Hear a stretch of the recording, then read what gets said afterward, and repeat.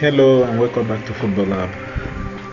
Here in this channel, we do football talk. We live football. We do everything about football, football analysis, match day analysis, and also we offer betting tips. We also cover football transfer news and the rest of them. Please, if you have not subscribed to this channel, please kindly do so by hitting the subscription button down below.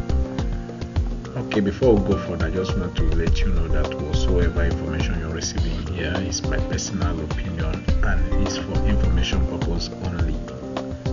It's in no way a financial advice. We don't give financial advice. You are responsible for this information. There is no guarantee of profit nor loss. Also, we say no to underage betting. If you know that you're below 18 years, please kindly do me a favor do not watch this video please okay having said that let's go straight to what we have for today. Thank you. Let's start our review this morning from the following games. We will analyze this and also offer some tips. Germany versus denmark. Let's look at the head-to-head. -head. we have two games here and germany winning one and denmark winning the other one. Okay look at let's look at the team form. Germany have played home games, five of them, and they won three, draw two, draw one, and lose one. Denmark away record, win four, draw zero, and lose zero. Here are my takes on this.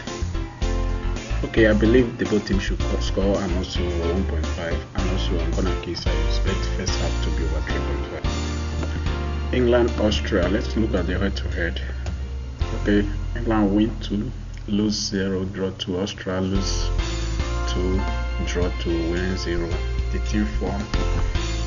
Austria home record um, away record is very okay. England the home record is very okay as well.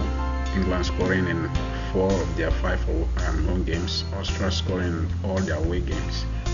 Okay here my take on this. England to win and I expect over 2.5 goals. And first half corner kick I expect it to be over 3.5 Okay, let's look at France versus Wales.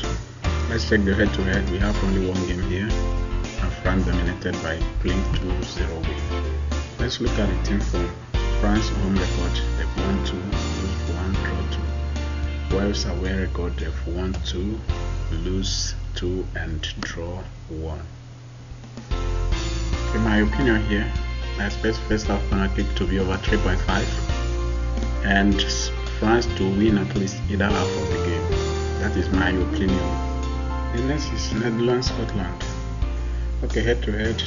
Netherlands have won four times, Scotland winning once. And one important thing here, one thing to notice here is they have never done both teams to score. There's only one team dominating at the end of the game. Okay, let's check the team form. Netherlands have from their previous home five matches, they won two, lose two, and draw one. Scotland away, they won two, lose two, and also draw one. Okay, here is my take on this. I expect Netherlands to win either half of the game.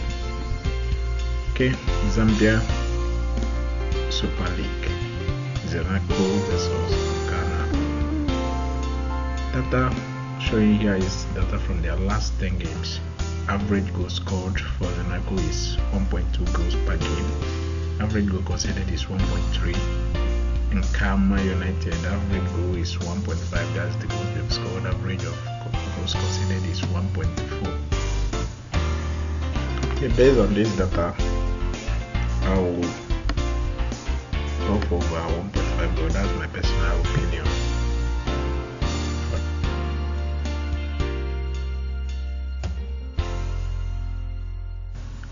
From the data showing on the screen, the both teams have played a total of 33 games.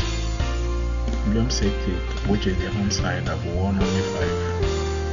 Mamelodi Sundowns has won 16, have 19 times. The match that ended in draw is 9 games.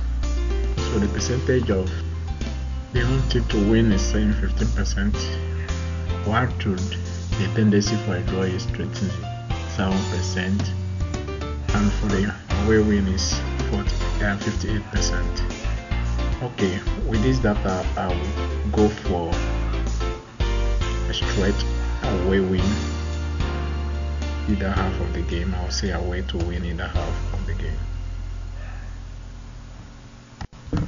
Okay, that's all we have for today. Tomorrow we'll be doing a much more games. Today is just a very short video. Tomorrow we'll games. We'll give more analysis, more tips. If you have not subscribed to this channel, please do so by subscribing and also like the video and share it with your friends. Thank you very much for stopping by. God bless you.